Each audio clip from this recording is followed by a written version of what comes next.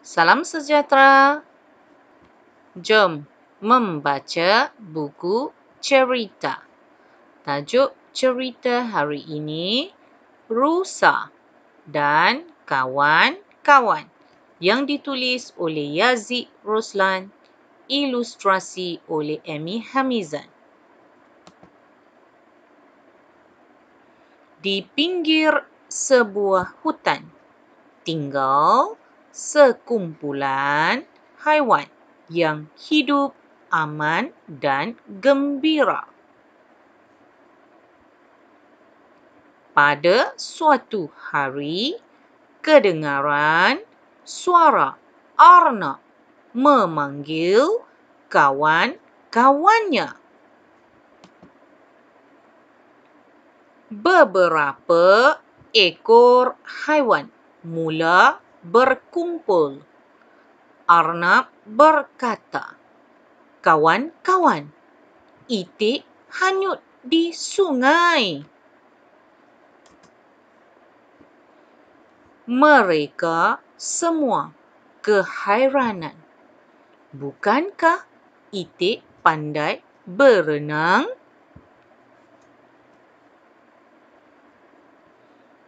Mari kita selamatkan itik terlebih dahulu, kata rusa. Mereka bergegas ke sungai. Itik dihanyutkan air sungai yang diliputi cecair hitam. Mereka bekerjasama menyelamatkan itik. Ular mematahkan ranting pokok. Burung pula menghulurkan ranting itu kepada itik. Manakala rusa menarik itik ke atas.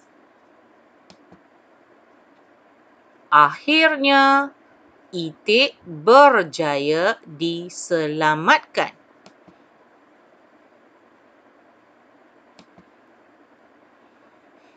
Nampaknya sungai kita sudah tercemar akibat perbuatan manusia yang mementingkan diri sendiri, kata rusa.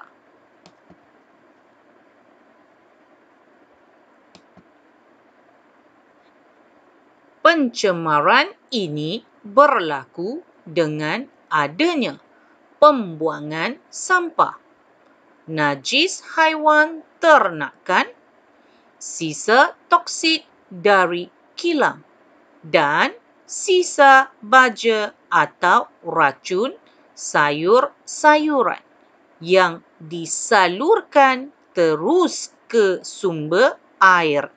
Jelas rusak. Jadi, apa yang harus kita lakukan? Tanya ular pula.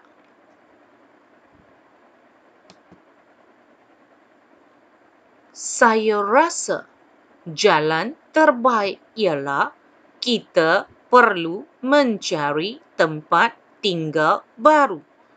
Jawab rusa dengan nada yang sedih.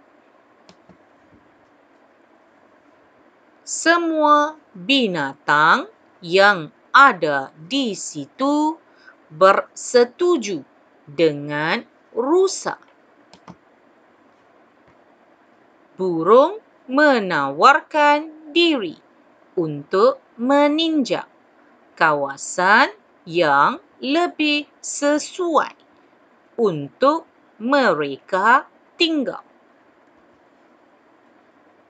Akhirnya, mereka kembali hidup gembira di kawasan hutan pedalaman jauh daripada manusia.